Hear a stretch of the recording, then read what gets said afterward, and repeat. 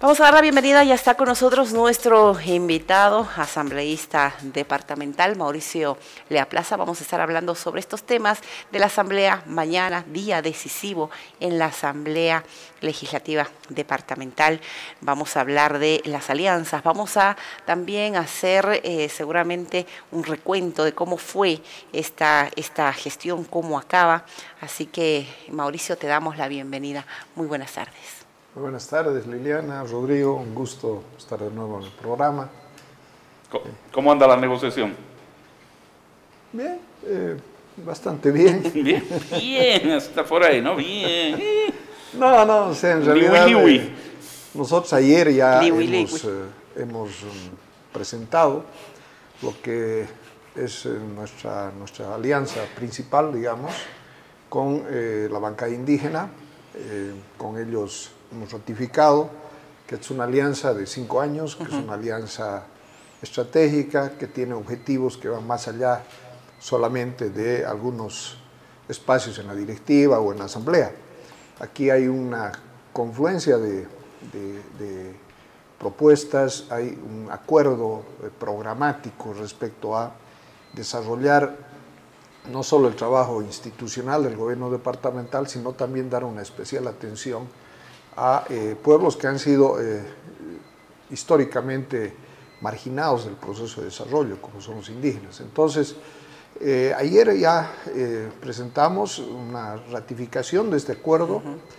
Tenemos consiguientemente este bloque que consideramos nosotros nos da garantía de gobernabilidad. Lo que estamos buscando básicamente con este acuerdo es conservar y mantener una asamblea proactiva, eh, que más bien haga una tarea articulada con eh, la gestión del Ejecutivo y que no sea el, permanente obstáculo o el freno o el mecanismo siempre de, eh, de, desestabilización de la gestión departamental. Así que... ¿Está totalmente cerrado este acuerdo, Mauricio?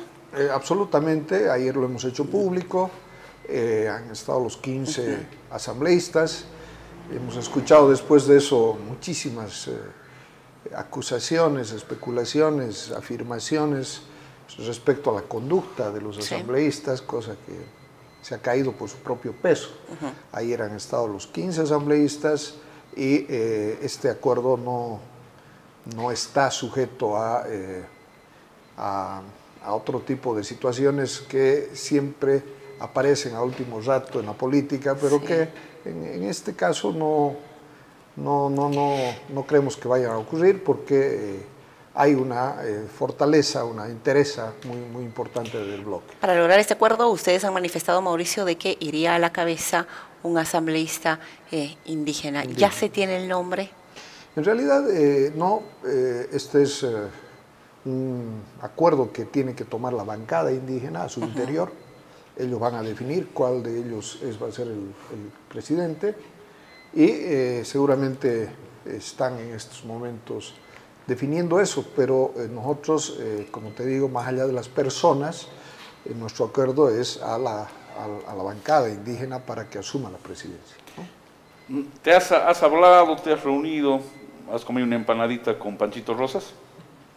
No, no, o sea, la verdad que em, lo único que nosotros hemos hecho ha sido, eh, después de que hubo problemas en, eh, en, la Asamblea, no sé si recuerdan, con el presupuesto, las modificaciones presupuestarias, después de eso iniciamos un proceso de diálogo con la gente de Comunidad de Todos.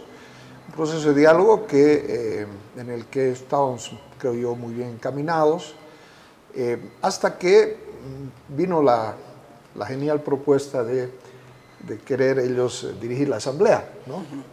Propuesta que mm, hoy he escuchado a, a, ellos reclamar de que nosotros hemos armado un bloque sin consensos, pero es una propuesta que no permitía ningún consenso. O sea, es, eh, hagamos un consenso en la medida que yo soy presidente, tengo dos votos y los otros 15 que me apoyen. ¿no? Entonces era muy difícil lograr ese acuerdo.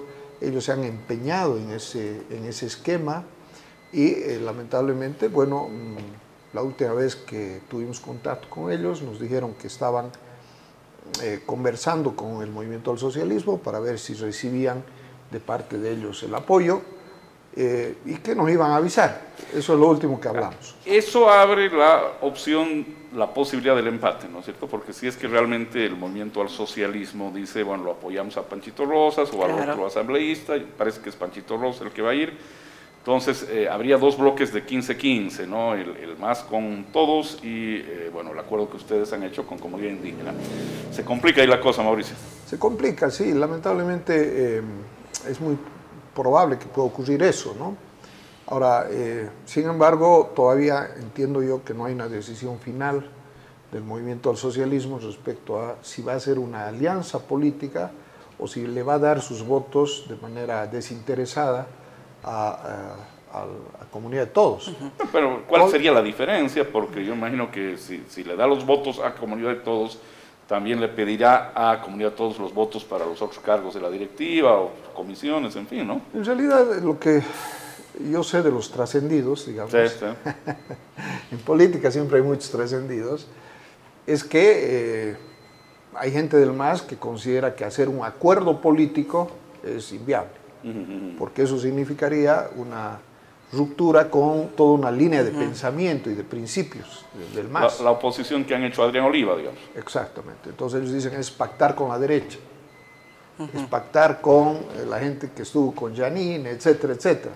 Entonces para, para algunos masistas ese esquema no es un esquema aceptable, digamos. Para otros quizás sí, no sé.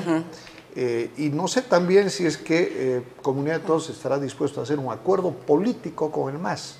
Mm. que también es otro tema. O sea, entonces, estamos sujetos... Panchito Rosas estaba apoyando la postura de los ex trabajadores del SEDECA, por ejemplo. Sí, sí, bueno, él, ha tenido posturas siempre de oposición a la gestión, ¿no? Y Jorge Sanguino más bien ha estado acompañando la gestión. Pero bueno, eh, en este momento entiendo yo que están trabajando como bancada y eh, seguramente en las próximas horas ellos definirán cuál va a ser su comportamiento pero al margen de, eso, si es que ocurre una situación de empate, eh, como tú planteabas, que es muy probable que ocurra, eh, eso implicaría eh, un empantanamiento ¿no? en la elección de la directiva y seguramente tendríamos que ir a, como alguna vez ya, lo dijimos aquí, ir a repetir la votación hasta ver ¿alguien, si... Alguien decía que no se daría porque el presidente no vota.